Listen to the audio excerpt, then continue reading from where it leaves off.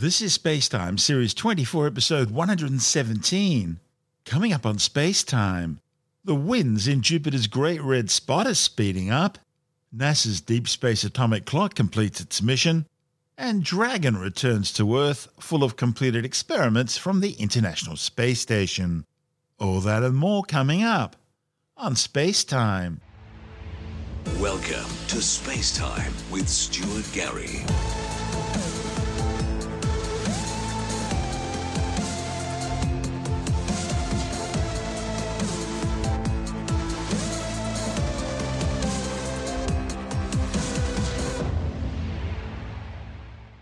New study based on images taken by NASA's Hubble Space Telescope show that the winds near the edge of Jupiter's Great Red Spot are accelerating.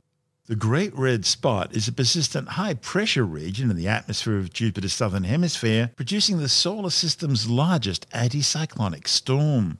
Observations of the storm go back to at least 1665, suggesting that the tempest has been active for well over 350 years. The Great Red Spot is an upwelling of material from deep inside Jupiter's interior. The cloud tops of the storm are some 8 kilometers above the surrounding cloud tops. If seen side on, the storm would have a tiered wedding cake structure, with high clouds at the center cascading down to its outer layers. Infrared data suggests the Great Red Spot is colder than its surroundings, but that would be due to its higher altitude than most of Jupiter's other cloud tops. Yet interestingly, the upper atmosphere directly above the tempest is substantially higher in temperature than the rest of the planet. Its reddish colour is thought to be caused by chemical products created from the solar ultraviolet irradiation of ammonium hydrosulfide and the organic compound acetylene, which produces a reddish material, most likely complex organic compounds called tholins. The new findings, reported in the journal Geophysical Research Letters, are based on more than a decade of detailed Hubble observations. Scientists found that the Great Red Spot's average wind speed just within the boundaries of the storm, known as a high speed ring, has increased by up to 8% from 2009 to 2020. In contrast, winds near the Great Red Spot's innermost region are moving significantly more slowly, Astronomers reached their findings by tracking wind vector data, looking at speed and direction from hundreds of thousands of locations in the anticyclone each time Jupiter was observed by Hubble. As to what these findings could mean, well, that's hard to diagnose since Hubble can't see the bottom of the storm very well. Anything below the cloud tops is invisible in the data. But it's still an intriguing bit of data which can help scientists better understand what's fueling the Great Red Spot and how it's maintaining energy. The massive crimson coloured clouds are spinning counterclockwise at speeds of more than 650 kilometres per hour, and the vortex is bigger than the planet Earth. But it's been steadily shrinking in size over the past hundred years or so. In fact, measurements taken back in the late 1800s show it was around 41,000 kilometres wide, big enough to fit three Earths inside it. But by 1979, NASA's twin Voyager missions flew past the gas giant, measuring the Great Red Spot at just 23,300 kilometers across. Then a Hubble image taken in 1995 measured the spot at just 21,000 kilometers wide. And by 2009, it had shrunk to just 18,000 kilometers wide. In 2012, observations revealed a noticeable increase in the rate at which the spot was shrinking, by some 933 kilometres every year, and also it was changing in shape from an oval to a circle. It was also changing in colour from a deep red ochre to a pale pink, sometimes even white. The most recent measurements show that the Great Red Spot's rate of shrinkage has slowed down, but it's now just 16,100 kilometres across and decidedly orange in colour. As to what that means for its future, well, no one really knows. This is space time. Still to come, NASA's Deep Space Atomic Clock completes its mission, and a SpaceX Dragon cargo ship splashes down safely in the North Atlantic Ocean, loaded with equipment and completed experiments from the International Space Station. All that and more still to come on Space Time.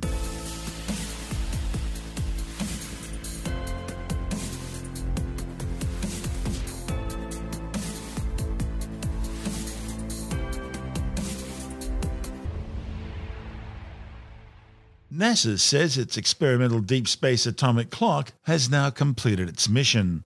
The instrument was deployed on General Atomics Orbital Testbed spacecraft, which was launched on a SpaceX Falcon Heavy rocket as part of a US Defense Department test program.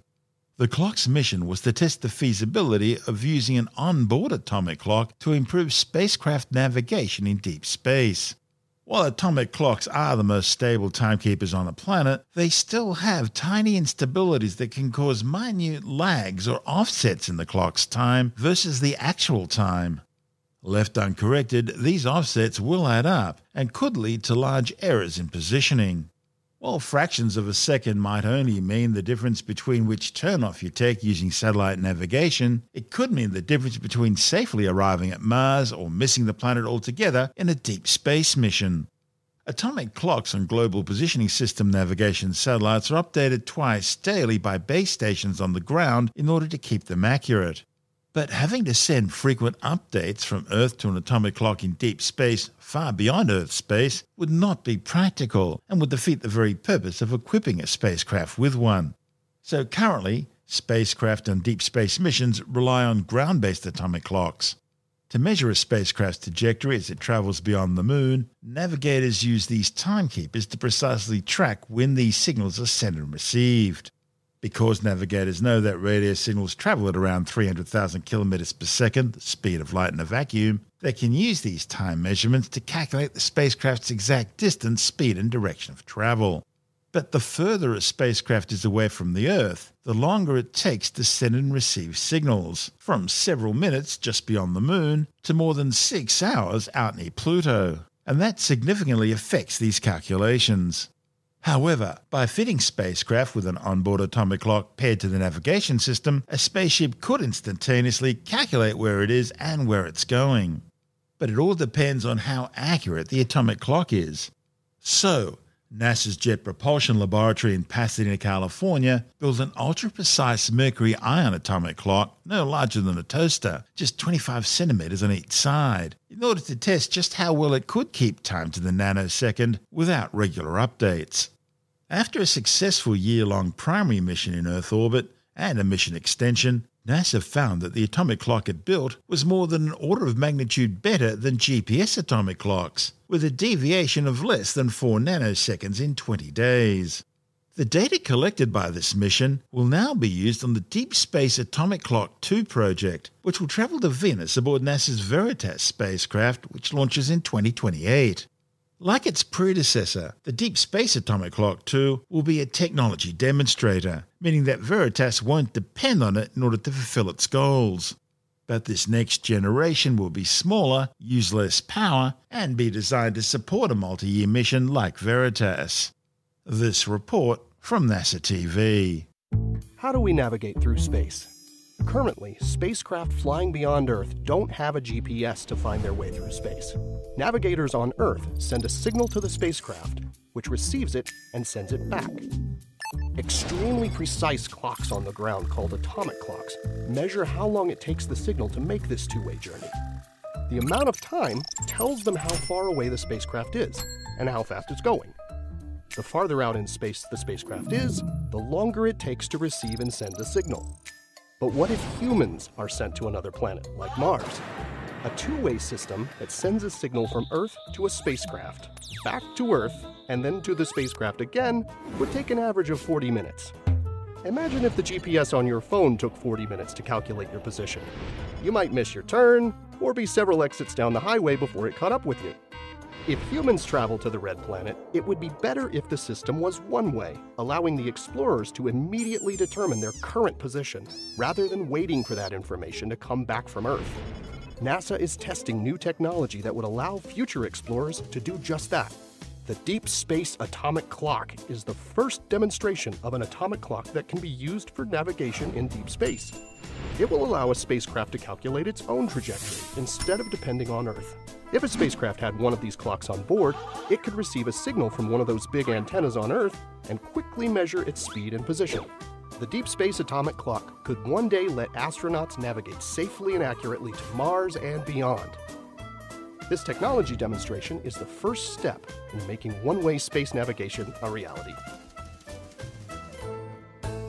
This is Space Time. Still to come, a SpaceX Dragon cargo ship safely splashes down in the North Atlantic Ocean, loaded with equipment and completed experiments from the International Space Station, and later in the science report, Russia undertakes two new Zircon hypersonic cruise missile tests, including one from a submerged submarine. All that and more still to come on Space Time.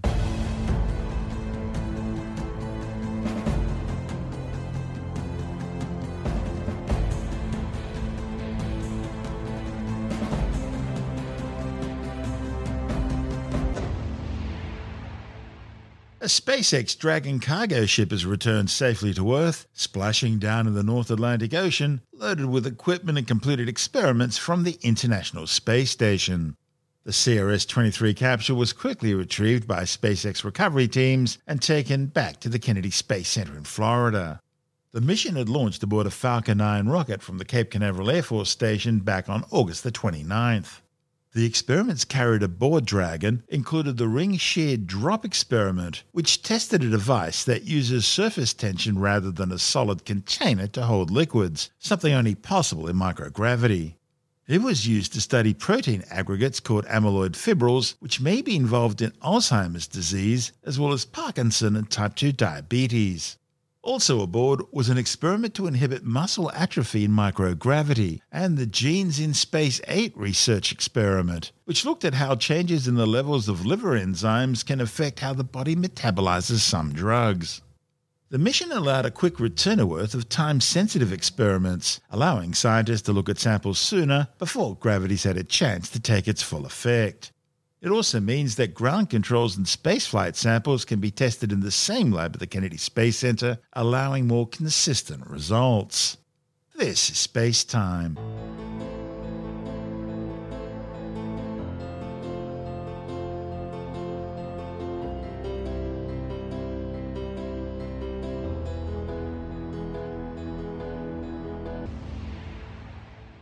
And time now to take another brief look at some of the other stories making news in science this week with the Science Report. A new study shows that losing 15% or more of your body weight could help people with type 2 diabetes. The findings, reported in the Lancet Medical Journal, show weight reduction could slow the progression of the disease, reduce complications, and may even reverse the disease in many cases. The authors say the study was so convincing they believe a loss of 15% of your body weight should become a central focus in all cases of managing type 2 diabetes. The Russians have carried out two new Zircon hypersonic cruise missile tests, including one from a submerged nuclear submarine. While the Zircon has previously been launched from the air and surface, this was the first time the Mach 5 capable missile has been launched from underwater. Moscow says the sub fired the missile from a depth of 40 metres or 141 feet, successfully hitting its target 1,000 kilometres away in the Barents Sea in Russia's Arctic. The advantage of hypersonic missiles is that they're so fast, anti missile systems don't have time to react. Also, because they're travelling so fast, they don't need to carry any explosives. Their kinetic energy at impact alone is the equivalent of 4 tons of TNT. Paleontologists on the Isle of Wight have found fossils of two new species of Spinosauroid, a group of predatory theropod dinosaurs closely related to the giant Spinosaurus. Their unusual crocodile like skulls allowed this group of meat eaters to expand their diets, allowing them to hunt prey both on land and in the water. Local fossil seekers found parts of two skulls, and a team from the Dinosaur Island Museum recovered a large portion of a tail. So far, more than 50 bones have been recovered from the site known as the Wessex Formation, which dates back some 125 million years to the early Cretaceous. The new findings, published in the journal Scientific Reports, suggest both dinosaurs were around 9 metres long each and belonged to species previously unknown to science. The first specimen has been named Ceratosuchops inferodios, or the horned crocodile faced hell heron, and features a series of low horns and bumps ornamenting the brow region. The second fossil has been named Riparovenator milneri, or Milner's riverbank hunter, in honour of the esteemed British paleontologist Angela Milner, who recently passed away. Well, in case you still needed proof that there's one born every minute, comes news of Samantha Milnes, who claims to be a pet psychic. That's right, for the right amount of money, the 50 year old animal communicator and part time pet detective who lives with a partner, Greg, a professional cat sitter, will tell your pet's fortune. Tim Mendham from Australian Skeptics says she predicts a good year for guinea pigs and budgies, but a bad year for Staffordshire Terriers and goldfish. Sometimes you just come across stories that are silly. Um, I don't know how you, how you qualify to be a pet psychic or an animal communicator, as, as she got. She had to do a vision quest or spiritual retreat. So she, she's done that, and therefore she qualifies as an animal communicator and pet detective. Ah, so she has an animal guide who takes her through life. She probably does. Uh, I'm not quite sure if it's her cat, who's 16 years old. She has made predictions for the well-being of various animal breeds. So she's she, she's a Brit, so presumably these apply to predictions in uh, the UK. But uh, it's it's going to be a great year for budgies. Guinea pigs are going to do well. Certain breeds of dog are doing okay, but uh, staffies, uh, staffy bull terriers, are going to have a struggle, and pooches will need a lot of reassurance in the coming year. The ones that are really going to do poorly are, I'm afraid, um, goldfish. Uh, you might say they're dead in the water. Oh, yuck, yuck, yuck, yuck, yuck. Yuck. As, as I look She- at my goldfish now, now that you've said that, No, it's okay because it's not going to happen until December. okay. that uh, it's December, mate. It's, it's uh, the, the,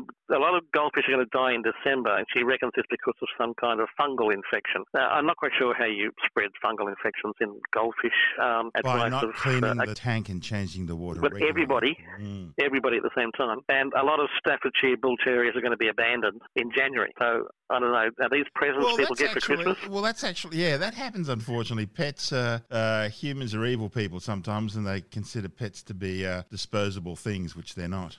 Yeah, that's why you don't see many Afghans around anymore. I mean, Afghan uh, dogs around any uh, much anymore. They they were fashionable at one stage, and now they're very unfashionable because they're too big. Yeah, so I don't, I don't know how you pick one particular month for one particular breed, though. Yes, people do sort of get a get a dog for Christmas, and then by January they're sick of it and they dump it on the RSPCA, whatever. I would suggest that if you're going to put your money on anybody, don't put your money on the pet psychic. That's Tim Mendham from Australian Skeptics.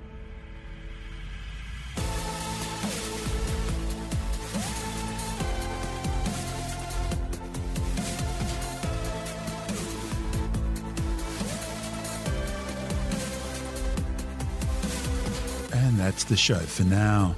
Spacetime is available every Monday, Wednesday, and Friday through Apple Podcasts, iTunes, Stitcher, Google Podcast, Pocket Casts, Spotify, Acast, Amazon Music, Bitesz.com, SoundCloud, YouTube, your favorite podcast download provider, and from spacetimewithstuartgary.com.